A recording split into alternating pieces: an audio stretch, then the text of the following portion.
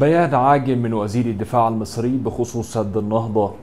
وخبير مصري يفجر مفاجأة هامة حول منابع نهر النيل. وعاجل الاتحاد الأوروبي يقف بجانب مصر في قضية سد النهضة. وبيان عاجل من الداخلية المصرية بشأن فيديو مثير للجدل. ومصر وبيان هام إجبار إثيوبيا على تفريغ المياه المحتجزة أمام بحيرة سد النهضة. مشروط ولكن بأمر. في البداية صلى على الحبيب محمد قبل ما نبدأ في تفاصيل الأخبار اشترك في القناة من زرار الاشتراك الأحمر أسفل الفيديو. ده مهم جدا عشان تجيلكم أهم الأخبار. واضغط على زرار ال like عشان توصلك فيديوهاتنا أول بأول. عاوزين نوصل 2000 like على هذا الفيديو. قبل ما نبدأ في الأخبار اللي بيحب مصر ووطني فعلا يفجر التعليقات بكلمة تحيا مصر. وانتوا قدها وطنيين. نبدأ في تفاصيل أول خبر معانا وبيان عاجل من وزير الدفاع المصري بخصوص سد النهضة. أعلن وزير الدفاع المصري محمد زكي قدرة الجيش المصري الدفاع عن الوطن وحماية امنه القومي وضح أنها مهمة مقدسة تتطلب الاستعداد القتالي. وزير الدفاع المصري أوضح أن هذه المهمة تتطلب بناء القوه القادرة على مواجهة التحديات. وأن القوات المسلحة بما تمتلكه من فرد مقاتل وقدرات قتالية وأسلحة متطورة في كافة التخصصات قادرة على ردع كل من يحاول المساس بأمن مصر ومقدرات الشعب المصري. أوصى وزير الدفاع المصري محمد زكي القادة والضباط بمواصلة البحث والاطلاع في مجالات المعرفة العسكرية والمدنية التي تعينهم على أداء مهامهم على الوجه الأمثل. والتمسك بالانضباط العسكري والمبادئ والمثل العليا للعسكرية المصرية لتظل القوات المسلحة بإعطاء أبنائها وتضحياتهم نموذجا فريدا للانضباط والالتزام. المصدر معنا كان من آر تي وأترك لحضراتكم التعليق على هذا الخبر الهام. طبعا يعني وزير الدفاع المصري بيوضح نقطة مهمة إن الجيش المصري قادر على حماية مقدرات الشعب المصري والآن يعني قادر على حماية مياه النيل من اللي بيحاول إنه يعني يسرق مياه النيل وده شيء هيبقى صعب في ظل وجود الجيش المصري وقدرات الجيش المصري والشعب المصري الواعي. هيبقى من المستحيل على دولة زي إثيوبيا وأبي أحمد إنه يحاول إنه يسرق حاجة مش من حقه.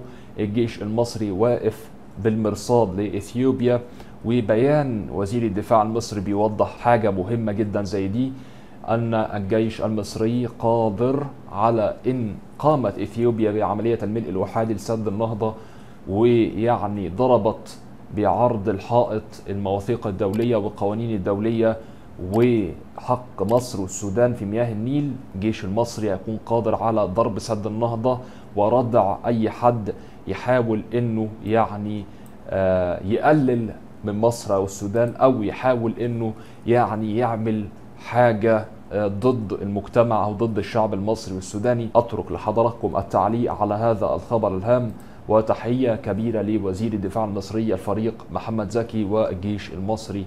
يعني من أعلى رتبة في الجيش المصري لاقل رتبة. وإن شاء الله يعني إحنا واثقين جدا في القيادة السياسية في هذا الأمر وواثقين جدا جدا في الجيش المصري. في هذا الأمر. لو حضرتك جيت للجزء ده من الفيديو يا ريت ما تنساش ال like والاشتراك في القناه من الزرار الأحمر أسفل الفيديو ويلا نكمل تفاصيل الأخبار. ننتقل مع بعض الخبر آخر معانا وعاجل الاتحاد الأوروبي يقف بجانب مصر في قضية سد النهضة. قال المتحدث باسم الدائرة الدبلوماسية للاتحاد الأوروبي بيتر ستانو إن بروكسل تأسف لإعلان إثيوبيا بدء الملء الثاني لسد النهضة.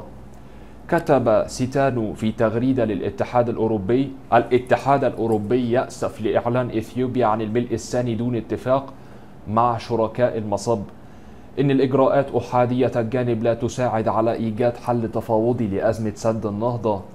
وأضاف أن الاتحاد الأوروبي يدعو جميع الأطراف المعنية إلى استئناف المفاوضات والمحادثات التي يقودها الاتحاد الإفريقي. لفت إلى أن هناك حاجة ملحة لخارطة طريق واضحة. ومتفق عليها تحدد أهداف مفاوضات سد النهضة وإطارها الزمني. الاتحاد الأوروبي الآن يعني يقف بجانب مصر. مصر ترفض الملء الأحادي لخزان سد النهضة ملء الثاني.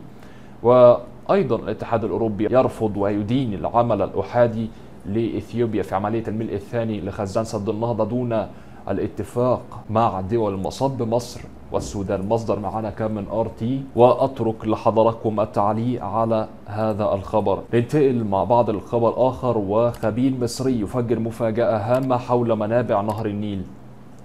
قال دكتور نادر نور الدين أستاذ الموارد المائية بجامعة القاهرة إن دول منابع النيل الأبيض تتمتع بوجود خمس بحيرات عظمى زاخره بالمياه العذبة. وقال في حديث لآر تي أن تلك البحيرات تغني تلك الدول عن أي احتياجات لمياه النيل الأبيض التي تبلغ 13 مليار متر مكعب سنويا. أوضح أنه لو تم تقسيم تلك الكميات على دول منابع النيل الأبيض الستة ومعهم مصر والسودان وجنوب السودان بإجمالي تسع دول فلن يتجاوز نصيب كل دولة منهم مليار وربع المليار. أوضح أن بحيرة فيكتوريا وحدها في منابع النيل الأبيض تحتوي على أكثر من 1680 مليار متر مكعب. ونصف هذا الرقم في بحيرة البرت بالإضافة إلى مليارات عديدة من مياه بحيرات إدوارد وجورج وكيوجا. وتابع لذلك تكتفي دول منابع النيل الأبيض الستة بمياه هذه البحيرات الخمس ولا تطمع في القليل الذي يجري بين ضفتي النهر. مثلما تفعل إثيوبيا التي لا تكتفي بمياه بحيرة تانا منبع النيل الأزرق البالغة 40 مليار متر مكعب ولا بمياه تسع أحواض أنهار تجري في أراضيها وتتناساهم طمعا في القليل من المياه التي تجري بين ضفتي النيل الأزرق. قال الدكتور نور الدين أن إثيوبيا تحض دول منابع النيل الأبيض على كراهية الدول العربية وعلى كراهية دولتي المصب. وقال إن إثيوبيا وخلال اجتماع وزير خارجيتها مع دول منابع النيل الأبيض الأربعاء حاول تأليبهم وحضهم على كراهية العرب والإدعاء بأن تأييد جامعة الدول العربية لمصر والسودان هو موقف عربي ضد دولة إفريقية. كما حضت إثيوبيا دول منابع النيل الأبيض على كراهية دولتي المصب وادعت عليهم أنهم يتسولون على مياه النيل بغير حق رغم أن دولتي المصب لم تطلب ابدا من أي دولة منبع بعدم الاستفادة من مياه النهر كيفما يشاءون في جميع قطاعات الزراعة والصناعة والمنزل. طبعا معنى كلمة حضت ممكن الناس ما تعرفش يعني إيه كلمة حضت. حضت يعني حرضت. ودعا جميع الدول العربية إلى استدعاء السفراء الإثيوبيين لديهم للاحتجاج على سلوك إثيوبيا بحض دول منابع النيل الأبيض على كراهية العرب وكذلك على مصر والسودان. استدعاء السفير الإثيوبي والاحتجاج بشدة على محاولة إثيوبيا الوقيعة بين دول المنابع ودولتي المصب وشق دول الحوض إلى قسمين بدلا من انتماء الجميع إلى حوضا واحدا لنهر النيل. وقال على جميع الدول العربية إعادة النظر في علاقاتها مع إثيوبيا وكذلك استثماراتهم في إثيوبيا. بعد أن كشفت إثيوبيا عن وجهها الحقيقي بكراهية العرب وحض الأفارقة على كراهية العرب من أجل صالحها الشخصي لفرض سيطرتها على مياه النيل الأزرق وأيضا السيطرة على كل دول المنابع. المصدر معنا كان من آر تي وأترك لحضراتكم التعليق على هذا الخبر الهام. طبعا إثيوبيا هنا بنشوف إن إثيوبيا يعني عندها كره واضح وصريح للعرب. يعني إثيوبيا دايما تحس إنهم عاوزين يقللوا من شأن العرب أو يحاربوا العرب بخصوص مصر والسودان بيحاربوا مصر والسودان بأنهم عاوزين يقطعوا عنها المية لأن هم شايفين إن النيل ده يعني خائن. شايفين إن النيل ده خائن وإنه هو اللي بنى الحضارة المصرية. وطبعا يعني كره الإثيوبي ده خطير على الأمن المائي والأمن القومي لمصر. وزي ما قلت لكم وهعيدها 100 مرة.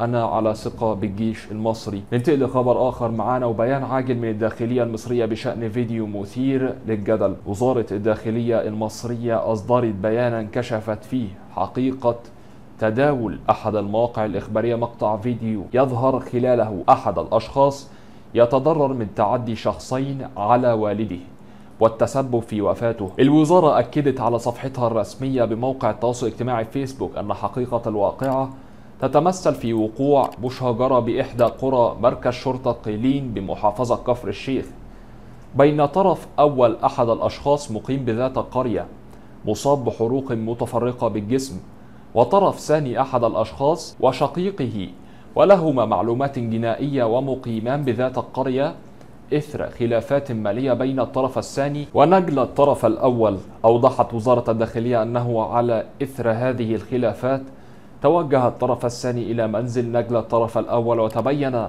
عدم تواجد الأخير. فحدثت مشادة كلامية بينهما على إثرها. ألقى الطرف الثاني مادة سريعة الاشتعال بنزين على الطرف الأول وإشعال النيران به ما أحدث إصاباته التي توفى بسببها في الحال. بعد تقنين الإجراءات تمكنت الأجهزة الأمنية بمديرية أمن كفر الشيخ من ضبط مرتكبي الواقعة وبمواجهته ما أقر بارتكابها على النحو المشار إليه.